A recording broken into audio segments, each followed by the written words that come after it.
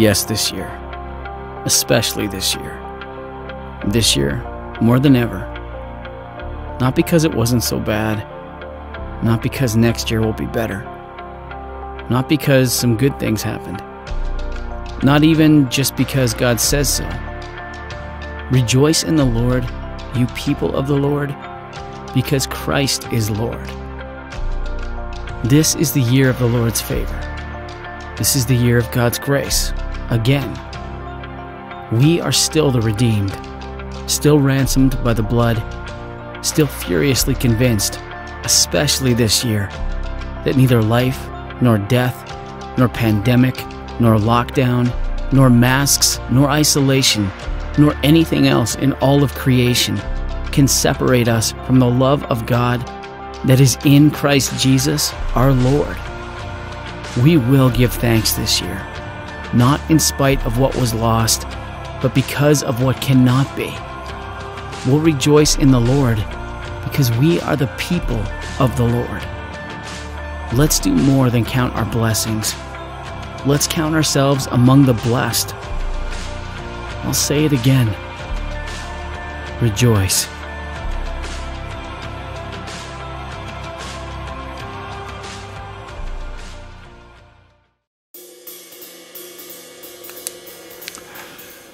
Hello, everybody. Bryan here at Hope Church in Bedwas. Welcome to everyone watching today, whether you are tuning in to our live premiere on YouTube or if you are catching this at a later date, you are most welcome to our broadcast today. Well, lockdown is over tomorrow, maybe. And at the time I'm shooting this, we are set to go into national rules for Wales as of tomorrow, November 9. This means that things are opening back up a bit, so coffees and cakes are back on at the Bean House. Social distancing measures still in place, of course, and check to make sure you are in compliance with guidelines in regards to whom you can connect with. Those are the proper T's and C's, I guess, as they would call them. This also means that we can join up again for our communion groups this Thursday and Friday, the 12th and 13th of November at 7 p.m. You will have to book in as we only have limited space available. So go to our website www.hopechurchbedwas.org. And on the home page, there are links to book in for these groups. We will have a short time of reflection on the Bible, we will worship, and we will pray, and we will take communion together. So both nights are exactly the same, so only sign up for one, okay? Thanks. I'd like to remind everyone to make sure you have uh, giving arrangements made for Hope Church. If you have set up a standing order, great, awesome, amazing. If you are a cash giver, you can make sure to bring your tithes and missions offerings to this week's communion groups. God loves a cheerful giver. Thanks for giving, and thanks for being cheerful. I want to say a big thank you to those that have submitted videos for these church meetings. Huge props to the Evans family, especially Lily, for a great encouragement a few weeks ago. Darren, your word last week was a real pick me up. And to the Chikuri family, I don't know what to say. it was amazing, hilarious. And Rashad, get some trousers.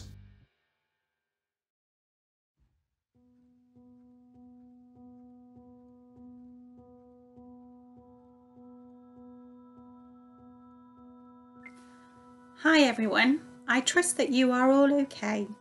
We are certainly living in uncertain times, and it's understandable that us and those around us might be feeling anxious and afraid for the future. As a child, were you afraid of the dark? Maybe you still are. Everything so seems so much worse in the dark, doesn't it? And we may be unnerved by the darkness that surrounds us in the world, especially caused by the COVID 19 pandemic. But throughout Scripture, light is used to symbolize God, and as Christians, we are called not only to walk in light, but to be light for others. Matthew 5, verses 14 and 16 says, You are the light of the world. A city that is set on a hill cannot be hidden. Nor do they light a lamp and put it under a bush, but on a lampstand, and it gives light to all who are in the house.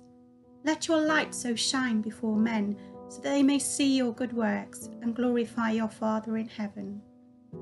And 1 Peter 2, verse 9 reminds us that we are a chosen people, a holy nation, God's special possessions, that you may declare the praises of Him who called us out of darkness into His wonderful light.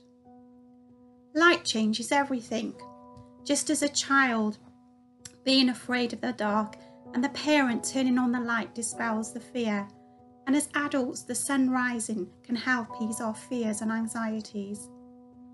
We can help ease the fears of people's fears and anxieties in these uncertain times by being lights and bringing them hope. This week, may we be lights in the darkness. We may not be physically able to go and meet somebody, but thanks to modern technology, we can still communicate with people. Maybe pick up the phone or do a video call, or maybe just old fashioned way of just sending them a card in the post, or maybe offering to do some shopping because light changes everything. This week, may you go peacefully and gentleness through these difficult days and give freely, show tenderness in all of your ways. Through darkness in troubled times, let holiness be your aim. Seek wisdom, let faithfulness burn like a flame. God speed you, God lead you, and keep you wrapped around his heart. May you be known by love. Show kindness, see everyone through heaven's eyes. God hold you, enfold you, and keep you wrapped around his heart. Take, take care, God bless, and hopefully see you soon. Bye. With that in mind, let's turn our hearts to Jesus as we worship. We turn to the Psalms, Psalm 104, verses 31 through 34. May the glory of the Lord endure forever. May the Lord rejoice in his works. He who looks at the earth and it trembles who touches the mountains and they smoke. I will sing to the Lord all my life. I will sing praises to my God as long as I live. May my meditation be pleasing to him as I rejoice in the Lord. Come, let us worship together.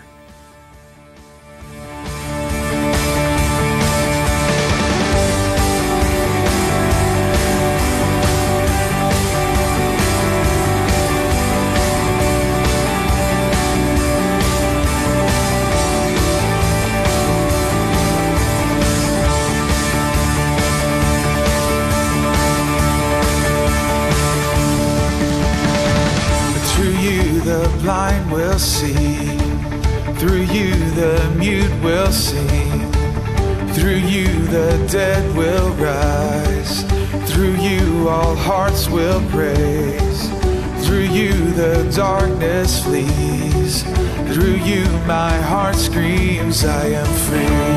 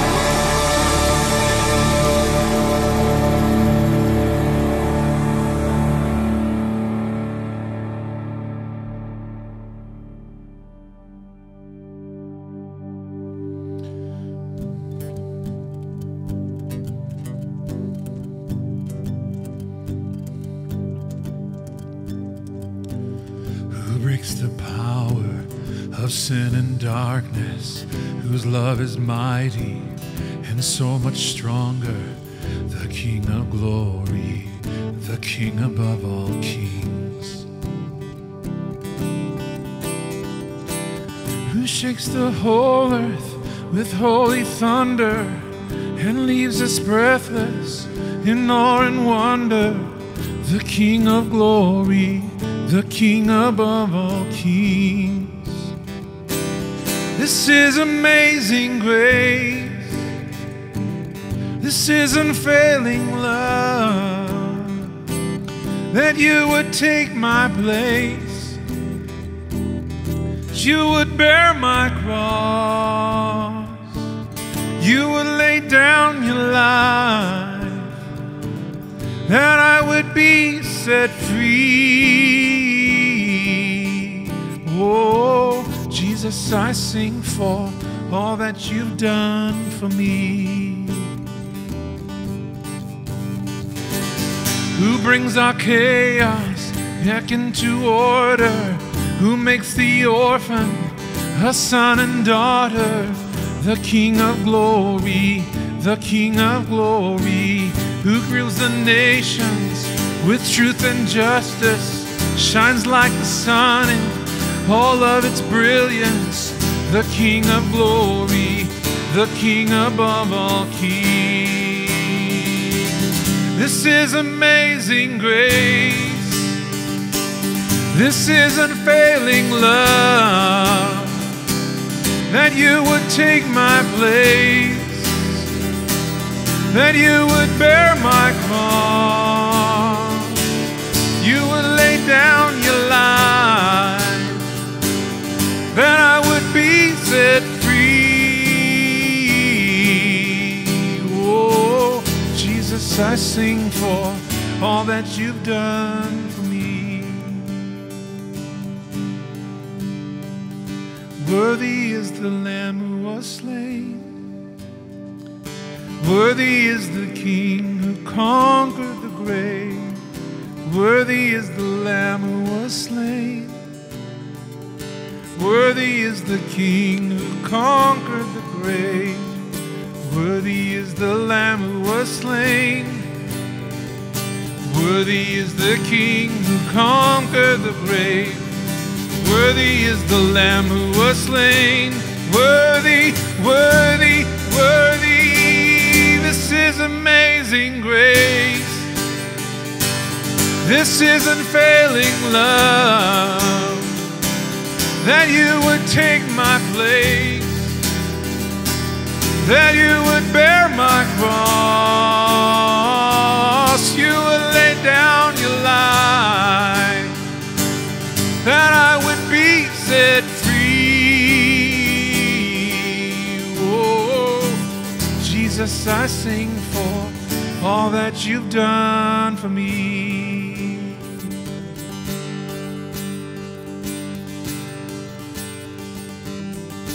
This is amazing grace. This is unfailing love. That you would take my place. That you would bear my cross. You would lay down your life that I would be set free.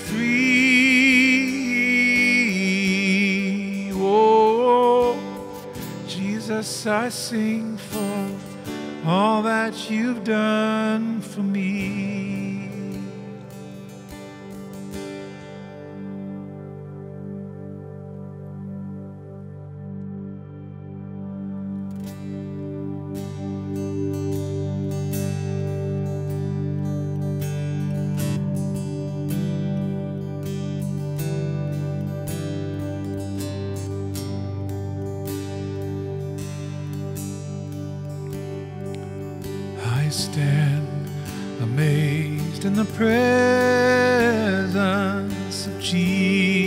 The Nazarene. And I wonder how he could love me, sinner condemned unclean, singing how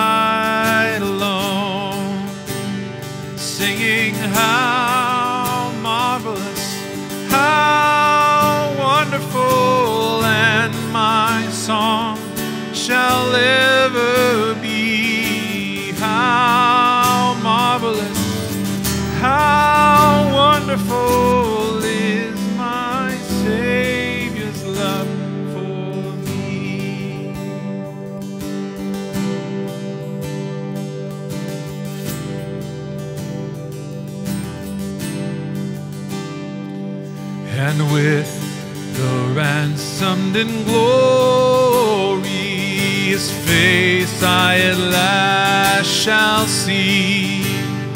It will be my joy through the ages to sing of his love for me. Yes, how marvelous, how wonderful, my song shall ever be. How marvelous, how wonderful is my Savior's love for me.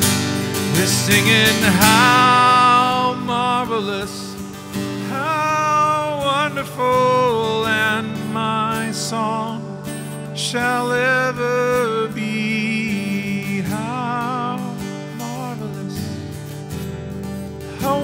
wonderful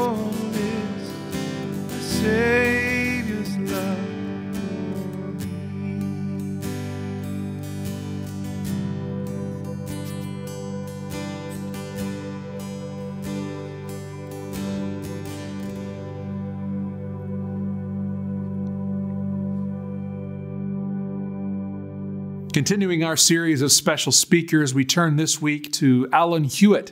Some of you may know Alan. He was the senior pastor of Hope Church in Newtown, and was the Wales national leader of AOG, that's the Assemblies of God. He has since retired as senior pastor and also as national leader, but he still preaches a powerful word, and he has one for us today. So, today, we at Hope Church in Bedwas welcome Alan Hewitt. Today, I want to speak to you on living through unfavorable times. There's a verse in the New Testament in 2 Timothy chapter 4 verse 2 where Paul uses this phrase, be prepared in season and out of season. The message version puts it like this, accept the hard times along with the good. The New Living Translation says, whether the time is favorable or not. Paul is writing a letter here to his spiritual son in the faith, a pastor called Timothy. And he charges him to live a life that is consistent no matter what goes on or happens around him. And that text reminds us that life is not static. Life changes many times. There's changes in life, there are seasons in life.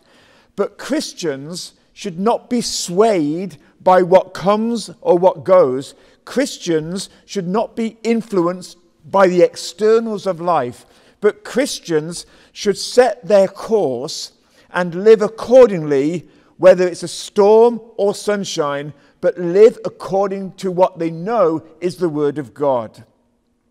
The well known rector of All Souls Church in Langham Place, London, a guy called Richard Bewes, once preached a sermon many years ago called Between the Times. And in that sermon, he emphasized that much of our lives is lived in the ordinary. In other words, it's lived out of season, not in season. And he spoke of people like composers, entrepreneurs, inventors, creative people.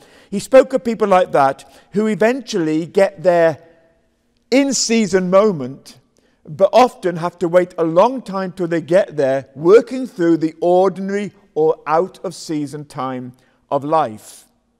I want to show you four things today that will kind of help us to understand what it is to live through unfavorable times.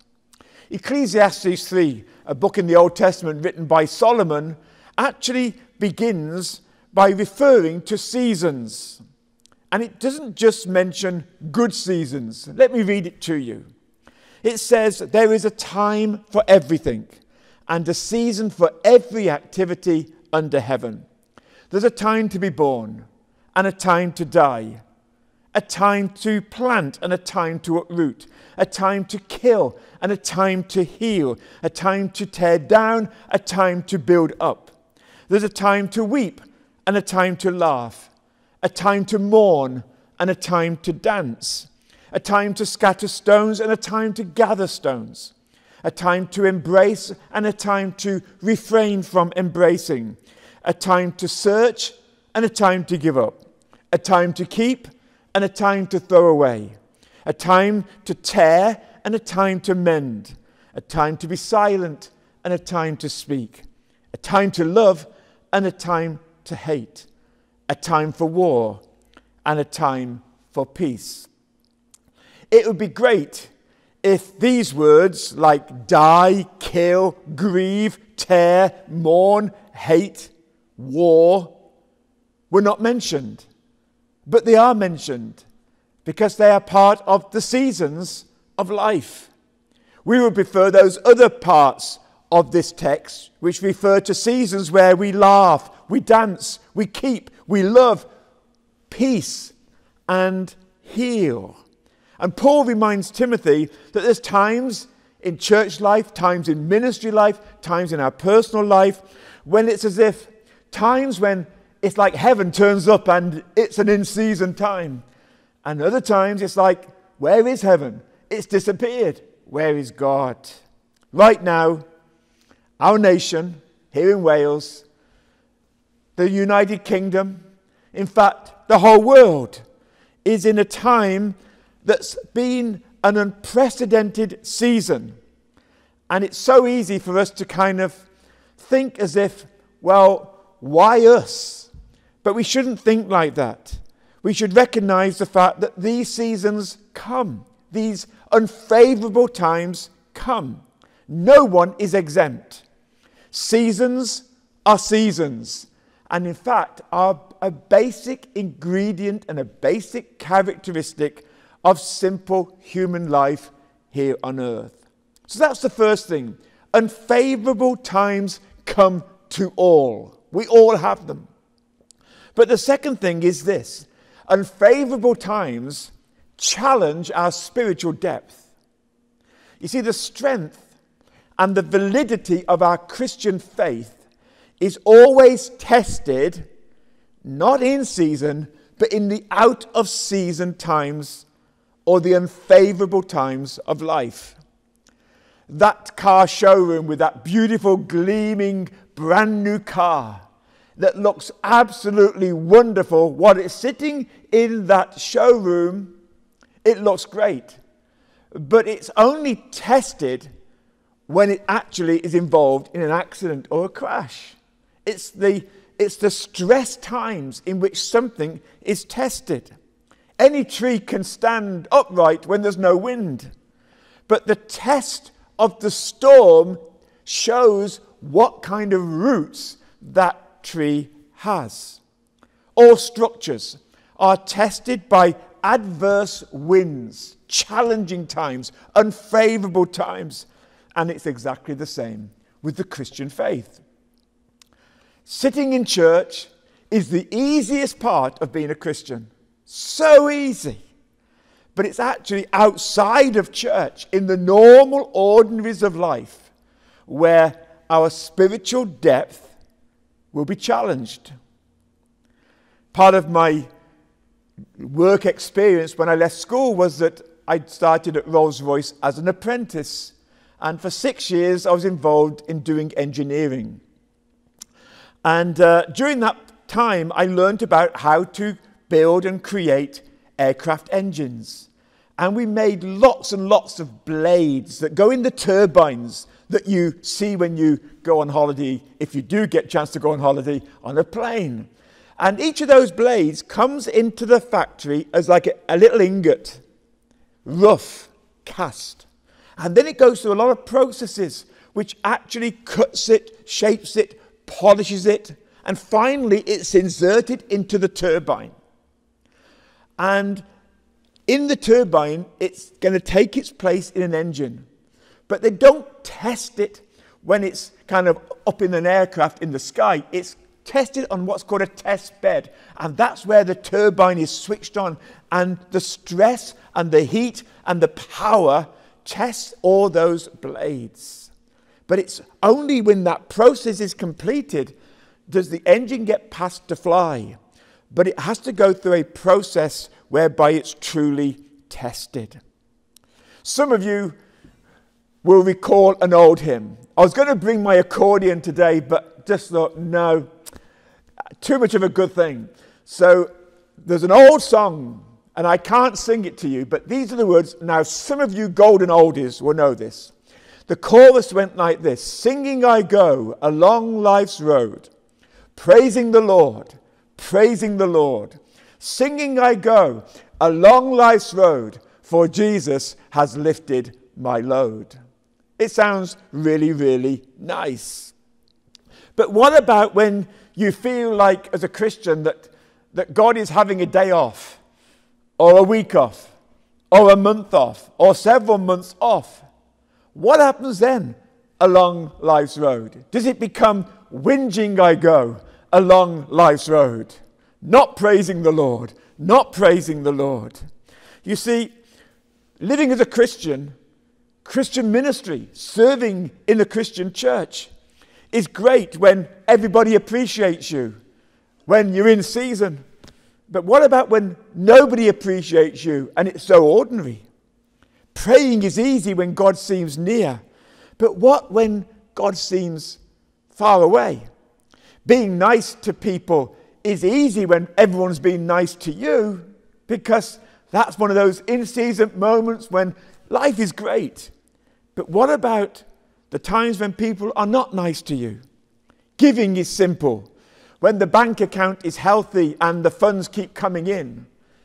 But what about when the funds aren't coming in and the bank account is heading towards the red zone? Praise and thanksgiving is a joy when prayers are being answered, but what when they're not being answered? And rejoicing again is easy when the results come back from the hospital as negative. But what about when the tests come back positive? Let me just say this to you because this is a really, really important statement. The depth of our spiritual life is not measured on party nights, but on painful nights. In Acts chapter 16, Paul and Silas, you can read about them in the New Testament. They have been imprisoned and beaten just because of their faith in proclaiming Jesus Christ as Lord. And the Bible tells us they were really in a lockdown. They were actually in chains in a dungeon. That's a real lockdown. An experience that none of us perhaps have ever, ever experienced. And this is what the Bible says. At midnight, they sang praises to God. Now, note that. This was an unfavorable time. This was an out of season time. And yet, they give praise to God in the middle of a lockdown. And I believe right now that as Christians, many of us are being negatively affected by being unable to sing in church. There's something I think is more powerful than we understand. You see, in an atmosphere of singing, an environment is created which actually can energize the soul. And the fact that we have been restrained and restricted from singing praise to God has an adverse effect upon our lives.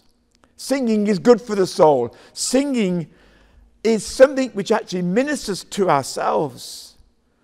And I believe that there is some dark power working against us through this virus. And we need to recognize what's happening, even to ourselves, even to why we feel like we do during this pandemic time. It's important that we as Christians discern seasons and note what season we are in and ensure that we are not blown away by everything that comes against us as if we are shallow rooted trees. Every Christian right now needs to guard their own heart. We need to wrap our roots around and intertwine our roots with the Bible, with the Word of God, to ensure that we don't fail or fall during this pandemic. Paul tells Timothy, stand firm, be unmovable, no matter what circumstances you are in. And that applies to church leaders, that applies to Christians, that applies to all of us, no matter what we do. Now, Timothy was a preacher.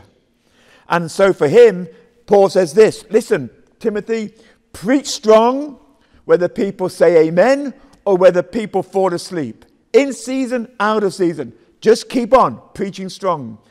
Paul tells him, teach the truth. Even when people scoff at it, even though people reject it, teach the truth. But it doesn't just apply to, to preachers, to all of us as Christians. It applies to every life. Don't expect your life to be smooth. The Bible calls us to, and I quote, endure hardship. And that's an important word for us right now. We're in the middle of a lockdown. We're in a difficult situation. We're living in an unfavorable time. And it's important that we endure hardship. Paul Paul's a great example. He said about himself, whether I'm in plenty or whether I'm in need, I've learned to be content. He said, whether we're succeeding or look to be failing, we just know the truth is that we are more than conquerors. He talked about whether we're loved or whether we're loathed. We do not lose heart. We endure hardship. The great Bible teacher R.T. Kendall said this It's no sign that you are spiritual if you say, Praise God, when everything is going well with you. the proof that you are spiritual is that when the bottom falls out of your world and you feel betrayed and deserted, you can say, like Job, Though he slay me, yet will I hope in him. So that's the first thing. Unfavorable times come to all. And the second thing is that unfavorable times challenge our spiritual depth. And the third thing I want you to see is this unfavorable times call for steadfast faith. When Paul wrote these words to Timothy, he actually was imprisoned and he was awaiting his fate, which eventually, as we know, as we read in the Bible, was his execution. Paul, too, was in an unfavorable time. He was in a lockdown situation, again, locked up in prison. Yet, what was Paul doing during lockdown? Well, he was doing just the same as usual. He was getting on with doing what he believed he was on earth to do. He kept preaching, he kept serving, he kept even kept rejoicing. In fact, he writes from his cell, "Rejoice in the Lord always." And again I say, rejoice. He's still writing his letters to churches and individuals to encourage them, to inspire them, and to bless them. He's still sharing his faith about Jesus with the soldiers that are guarding him, even leading some of them to faith in Jesus Christ. His words to us today would come from 1 Corinthians chapter 15, where he says this Stand firm, let nothing move you. Always, always, that means in season, out of season, favorable or unfavorable times. Give yourselves fully to the work of the Lord because you know that your labor is not in vain in the Lord. At this time in which we are now living, more than ever, Wales needs to see churches and Christians being the salt and the light that only they can provide for our world. This is a great opportunity for us now to develop and strengthen and display our faith to the world. It would take great effort because it's a lot easier to do that in season. Yeah, it's so easy, so much easy to be salt and light when everything's glorious and great. It's a lot harder out of season. It's uh, an easy time for us to kind of join the moans and to be part of the criticizing that's going on and to kind of be the complainers. It's so easy to do that. And I know there's a temptation in my heart, again, to yield towards that. It takes a lot of effort right now when it's out of season to actually do what you know you need to do, perhaps more than ever. Right now, this world needs to see our smile. Right now, this world needs to see our joy. Right now, this world needs to hear our truth. Right now, this world needs to witness our resilience. Right now, this world needs to know that we are not just Hope Church by label, but by our living and through our lives. It's out of season when faith is most required. Galatians chapter 6 and verse 9, again, the Apostle Paul writes these words Let us not become weary in doing good. For at the proper time we will reap a harvest if we do not give up. I'm always flabbergasted at some of the words in Hebrews chapter 11, where it talks about some believers, some lovers of God from Old Testament times, and it says this about them it commends them for their faith, and then it says this even though, even though none of them received what had been promised. Imagine that. What a long period of unfavorable season. Such a long period that they never actually received what had been promised, and yet their faith remained strong. That to me is an amazing thing for people's faith not to falter during the times that are out of season. Can I just remind you today that out of season is not an excuse to stop reading the Word of God. Out of season is not an excuse or an opportunity to stop or to kind of minimize your prayer life. Out of season is not a time for us to slip into unbelief. Out of season is not a time for us to put our faith on hold and wait till it's all over. When Daniel, as we heard in a preach from Simon just a few weeks ago, was threatened with the lions, the Bible says he just went and did as he did before. That was an out of season threatening time, but he carried on as normal. When the Hebrew young men were threatened with the fiery furnace, they too just carried on knowing and doing what they should have been doing as before. Don't allow these unfavorable times and out of season time to shape your life.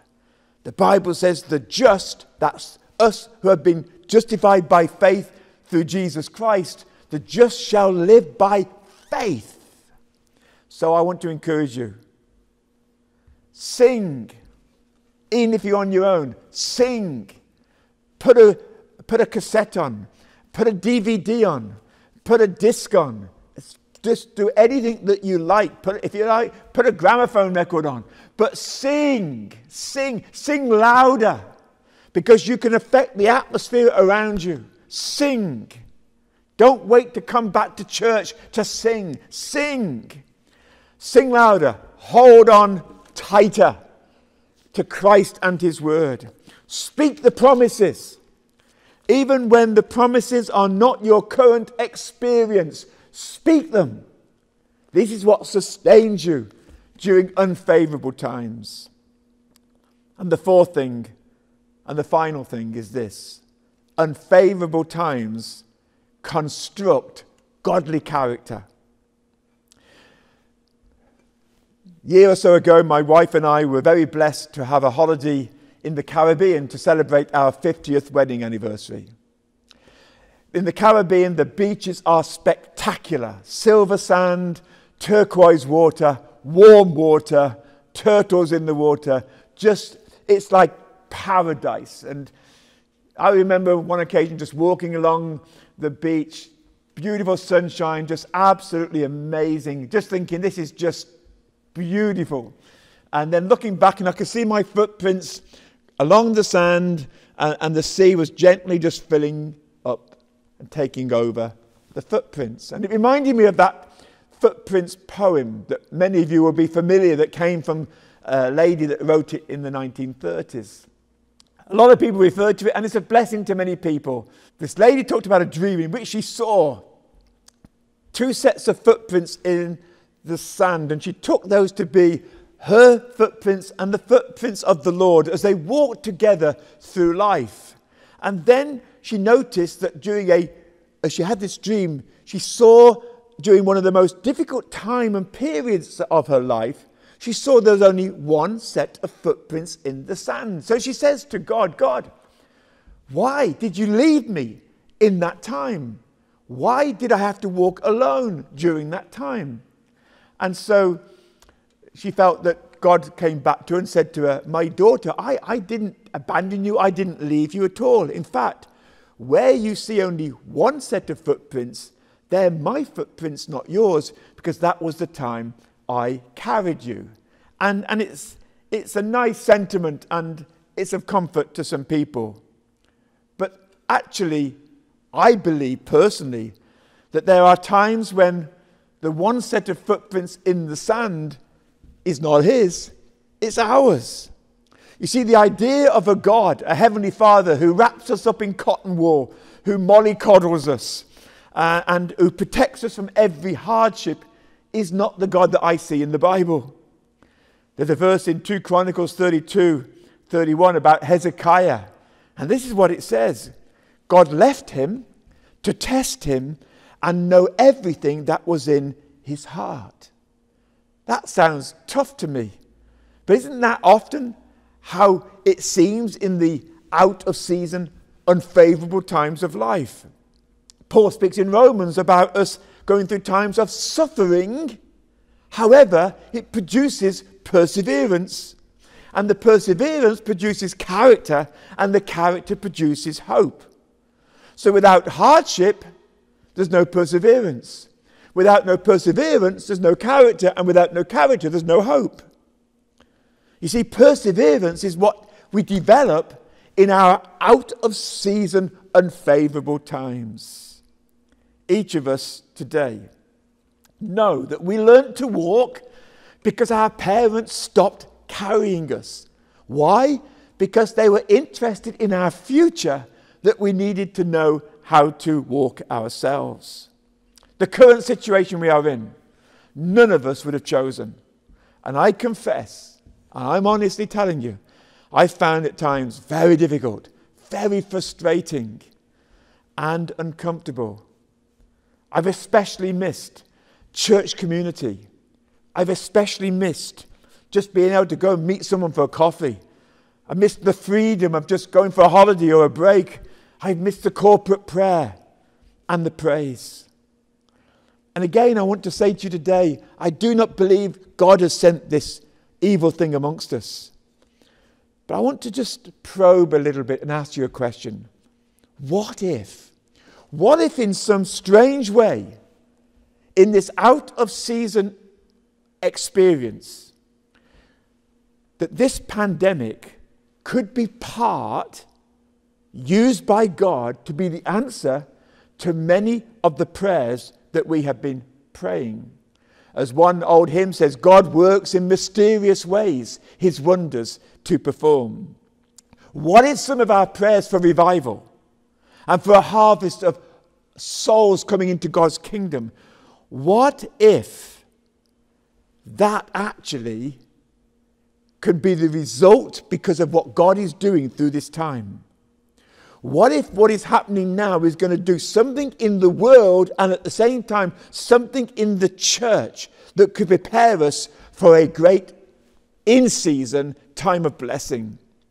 What if God is challenging the world about its values and the church about its vision? Many people are asking, people who are not Christians, many people in the world are actually asking questions that the world's got no answer for. People are actually saying, do we really need it? Do we really want a world like we had? Is there something better? And what if now is the opportunity for the church to be seen all over the world in the way God intends it to be seen?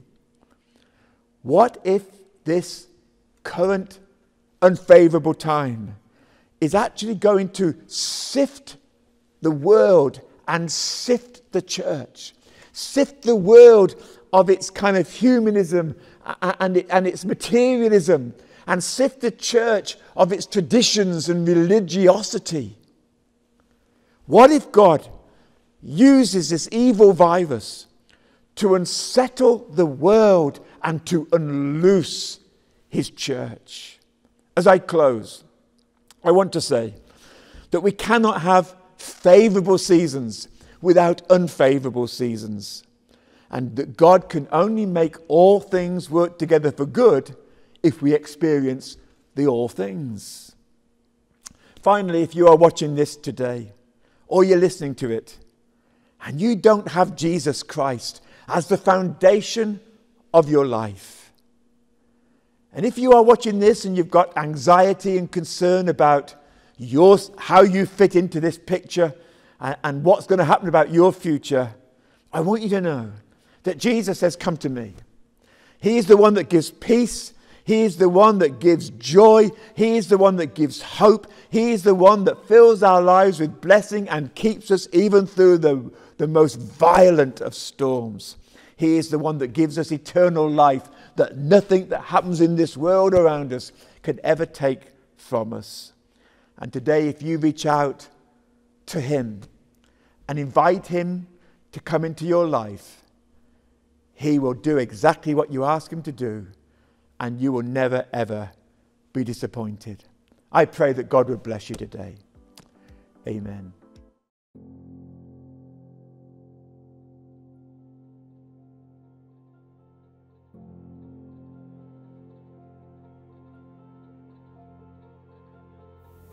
Thank you for tuning in today. If you are a regular member of Hope Church, we look forward to seeing you soon. If you are new to these videos, send us a line. My email is listed below. If you would like more information about what it means to follow Jesus, simply email decision at hopechurchbedwas.org. You are loved, you are valued, you have purpose. All of these can be found in Jesus, and Jesus is preached at Hope Church. Till next week, we'll see you later.